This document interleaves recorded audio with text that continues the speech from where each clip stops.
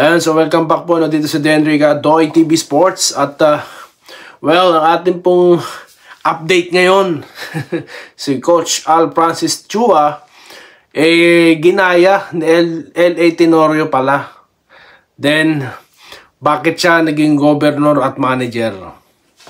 Tapos update po sa San Miguel lineup kung sino ang import nila at about kay Keith Jimenez. At of course, pa-shoutout ang inaabangan ng lahat.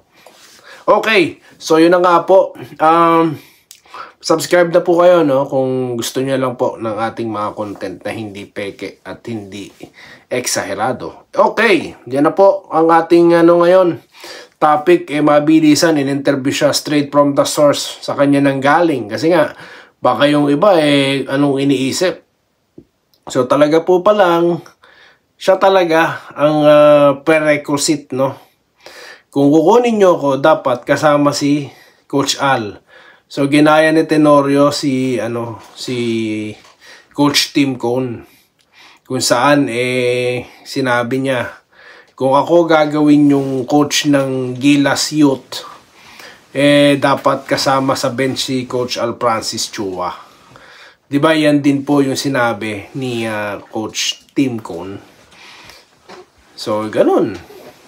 Tapos, eh, nahihiya nga siya kasi nga gusto niya fully 100% committed siya. Pero dahil nga para sa Gilas, eh, nagpaalam na siya kay RSA. And of course, syempre, nag-agree naman dyan si RSA. At uh, yun na nga, ano bang impact niya? Nakita niyo naman pala nung scoring, guys. Yun pala yung trivia doon. Yung mga shooting, di ba, hindi tawag ito, hindi gumagana. Pero nung kinausap ni Coach Al Francis Chua si Newsam, di ba? Crucial 3 point. Pasok! Oh, di ba? So, yan po ang ilan sa mga impact nito ni ano, Coach Al Francis Chua. Talagang namomotivate po ang mga player pag siya ang nakakausap. Kaya pala gusto siya. Kaya, ngayon, it makes sense dahil yung uh, may mga nagsasabi kapag nasa bench si Chua, parang siya nagkukus. Yung pala, motivator pala siya. Yun pala yun. So now, we know. Okay? So, na-educate ko ba kayo guys? At mabilisan lang ha, may mga nagtatanong dito, sino po ba import na San Miguel? Si Jordan Adams po, ang nasa legit source. Ayan, nasa PBA siya na website. Okay? Kasi nga, ang dami po naglalabasan, no? Mga fake news. Then, of course, si Kit Jimenez, eh, naiulat nga po sa spin na ano siya, uh, free agent. Pero nung chinek natin siya sa lineup nga, dahil nga may lineup din, din, din dyan ang uh, ano, sa spin. So yan siguro yung lineup na sinabit na San Miguel. So wala na talaga si Kit doon. Pero nasa PBA pa siya. I mean, nakasulat pa yung pangalan niya sa PBA website. Ayan. So ano pong ibig sabihin yan? Siguro baka parehas po sila na status ni ano ni Paul Garcia, di ba? Kahit free agent wala sa listahan pero nandyan sa ano pa rin ang Hinebra or baka si Kit nandun pa rin sa San Miguel pa rin yan. Okay? So, magabang po tayo ng update kung ano pang makaganapan dyan. So, yun po. So, ngayon, shoutout na po. Ayan. Sabi ko sa inyo, mabilisan lamang po itong mga topics natin. So, kahapon nga po, eh, may pumasok na Tawag dito. Ayaw niya ako makialam sa discard.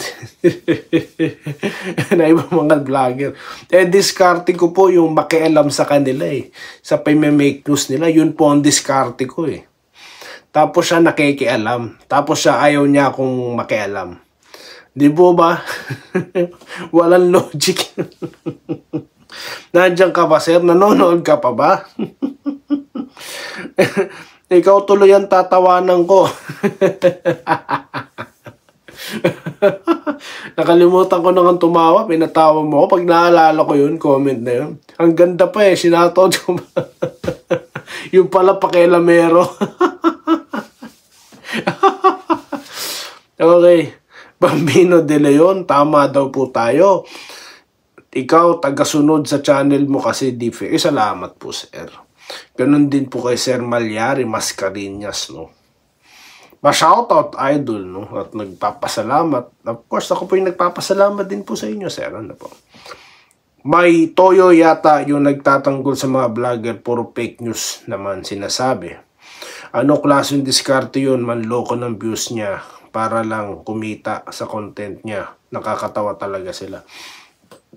Alam nyo na, awa nga po ako eh, kasi, di ba, kasi nga po na ng mga contents kayo, kung mapapansin nyo naman, di ba?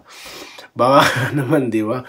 Eh, sa akin naman kasi, eh, alam mo yun, may viewer ka na eh. May subscribers ka na eh.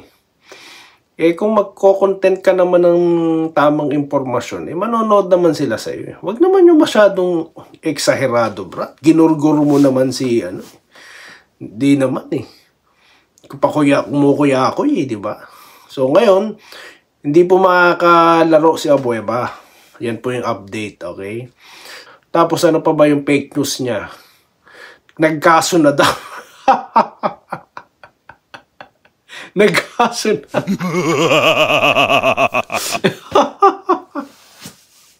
Natatawa talaga ako. Ang bira, no? Alam niyang libo na ninyo, nanonood sa kanya, no? Para lang ba-clickbait, Brad? Sige, alam ko, baka napapanood nyo na ako. Sagutin nyo ako. Magsagutan tayo, baka sumikat pa tayo lalo dahil tayo po'y nagsasagutan. Pero di kayo mananalo. Kasi nagpe-fake news kayo eh. Ako hindi. No, may panama ako at tatawanan ko kayo, di talaga kayo makakasagot. Sige, maghanap kayo ng buta sa channel ko. Kasi dito kinokorek na kagad ako eh. Sinabi ko ha, ang players ng Bay Area Dragons. Ta dalawa. Aba, sinagot ako ng mga subscribers. Tatlo. O, di ba? Kasi nga po, nagtatamaan kami dito. No? Okay. Against dalo daw po, ang sabi ni Wilfredo Bautista. Yung misinformation po is against talaga pong bawal yun. Huwag ganun. No? Bawal sa batas. Sabi ni Sir Wilfredo Bautista. Pa-shoutout po kay Sir Ronald Boerbosidad at kay Sir Balbino Diala. No? Idol, pa-shoutout naman Mrs. si Lucena Caspe ng Taganaga City, Camsor. Shoutout po. Mag-shoutout ka na lang, Brad. Huwag ka na mag-fake news. Pambihira ka. Pero wala naman akong masamang intention, ano. Sinisita ko lang yung mga ganyang klase na impormasyon. But I have nothing against sa mga tao na yan, no? So, ano, may mukha siya, ano ha, in fairness, di katulad na iba, puro lang salita, di nakikita yung mukha. Hindi nga ako nagbabanggit ng pangalan dahil ayoko. No? So, bato-bato na lang po yan ang tamaan. Aray. Paedro Aniban. Good morning, idol. Pa-shoutout po. Family Aniban sa Bulacan, Solid Ginebra. Reynya Ngasca Senior na lagi pong nanonood. Ang message kong ito para nag-comment sa mga vlog ni Boss Oy. Huwag nyo siya pakialaman dahil siya lang ang pinagkakatiwalaan namin dahil totoo mga update niya, hindi siya pick. Ay, salamat naman sir. Salamat. Kaya nga, tignan nyo, lakas ng loob ko maghamon, di ba? Dahil alam ko maraming lalaban. May mga magtatanggol. Kasi nga po, eh, ayaw nila ng fake news, kaya sila nandito eh. Kaya kahit huli na yung balita ko, Diba? Kaso hindi ako huli. Meron pa rin mga media nagbabalita eh. salamat po Sir ni Ray, no? Sal maraming salamat po. At kay Lope Bucalos, ganyan po talaga yung bad sunod-sunod yung panalo nila pero nung nakaharap nila ang Hinebra, ah, Bay Area Dragons yun. Natalo at at ano, sila din naghanap nagharap sa finals. Syempre, champion ng aking Hinebra. Camille at Ricaneri. Idol, kahit nandyan si Balti, ganun pa din. Tignan po natin, ma'am. May nagsasabi, Romel Adukol daw po ng bagong henerasyon. Well, not bad naman po si Romel Adukol. Napaliwanag ko na po ang ibig ko sabihin tungkol dyan. No? Mary Grace Bundak. Tatlo sila sir, dating players ng Bay Area Dragons. Si Hayden, Blakely, Kobe Lam, ah, Hayden Blakely, Kobe Lam, at Jin Yang. Yun. Yun pala yung kulang ko. Tikmo, kinokorek tayo. Totoo, mas malakas ang Bay Area kasa Eastern. Pero kayan, kayan talunin ng Hinebra yan. Thanks lagi sa mga info, sabi po ni Sir ni Ma'am Irene Quiles. Shoutout po kay Sir Jesse Vasquez. At present daw po si Sir Dolor Eduardo, no? At si Kimpi, sabi niya hindi tatlo, ay hindi, hindi tatlo, hindi dalawa. Ah, kino-correct tayo. Sorry naman, sir. Nakalimutan ko lang yung isa. Ayun. Chevron TV, boss, malakas ang Hong Kong Eastern. Tingin mo kayang talunan na Hinebra? Oo naman. Alam nyo po kasi ang Eastern, puro 3-point shots. So, nakalaban na po ng Hinebra ang TNT. Ang TNT po ang laro, parang Eastern din yan. Parang international din. Kaya kaya po nila yan. No? Ito po si Sir Danilo Empeno. Lods, malakas yung Hong Kong. Mapapalaban ng Hinebra mo niyan. O, yun nga po yung maganda eh. Malakas yung kalaban. Excited po tayo niyan. Panoorin. Pero kung kalaban ng Hinebra, Terapima, baka po di na ako manood. Maliban na ako maglalaro dyan si Romeo at si Manuel. No? Maliban na lang sorry to say, pero expect mo pa bang mananalo terapima dyan?